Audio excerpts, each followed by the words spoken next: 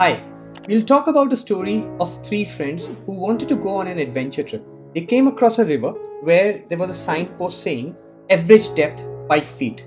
Now, each of the friends were having different heights. The first friend was roughly around 4 to 5 feet, he was less than the average depth.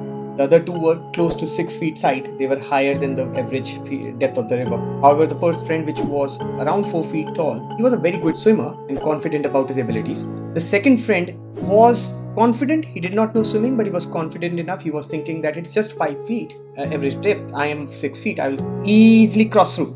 The third friend was a little bit not confident. He was panicking because he wasn't a good swimmer and he was he didn't like water. So as they entered into the water, let's see what happened. The water had strong currents. The first friend was good swimmer, did not anticipate such strong currents, and he got swiped away by the river the moment he entered it. The second friend, when he entered into the river and he thought that the river was six or an average five feet, was kind of greeted with a very rude shock. The word was average depth.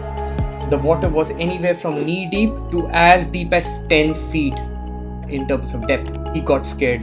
He got trapped into one deep pocket of the river and finally got swept away by the current as well. The third friend was anyways not confident, and when he saw his first and second friends swept away, he gradually tried to crawl through, but again he got trapped into one of the deep pockets and got drowned again. This was very tragic. Sadly, all the three friends drowned, and they all relied upon the concept of averages. When the villagers around that river came to know about it, they were very sad about this incident. They thought to le- have a lessons kind of about this particular situation told about the entire village. They took away that every step signpost away. So, what does this story tell us about in terms of relying upon averages? Relying solely upon averages can be very dangerous, both while in the case of the story, while crossing the river, and also while managing your personal finances. Just like the way the river had average depth varying, but it was varying from knee deep to 10 feet, and hence we realize that it goes much beyond the average numbers. There are certain other averages which we very loosely use in the world of personal finance. Examples are like average incomes, average expenses, average returns on investment. This is one of the most common one. Let's take one example. Average returns. We'll take one asset which most of the families do invest in. Gold. You know, do you know that the gold in last 10 years gave an average return of 7%? That sounds quite awesome. But if I add some data of how it swept, uh, kind of moved year on year, let me give you some numbers. In 2019 and 2020, the returns were as high as 23 and 26 percent for that year. So, on the other hand, let me show you the negative side of this picture as well.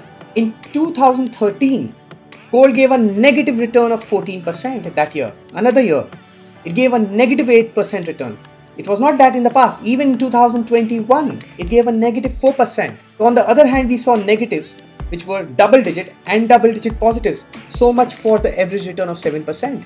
Now, when a person gets into that 7%, which side will he get trapped into? Upside or downside? Similarly, an investor investing on the basis of average would expect that he's getting he's going to get a very smooth ride. But eventually he'll get swept away by these fluctuations ups and downs ups and downs. You don't want that right? And Hence, a very loose concept creeps into one's mind that seeing the average, a person may significantly underestimate the risk associated with a financial product or a financial decision and often resulting into incorrect decisions and losses. Another kind of very common example for averages is average income.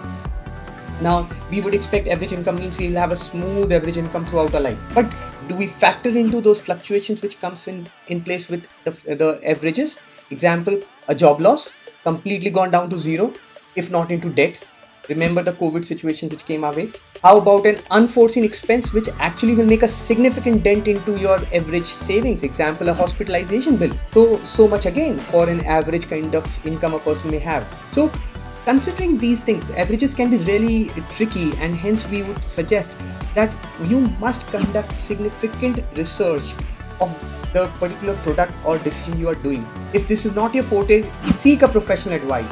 Develop a comprehensive understanding of the respective financial situation you're trying to deal with it. And by evaluating these individual factors which impact the average return both on upside and downsides, you will be able to make better decisions, which will result in a more secure and stable financial outcome in the future.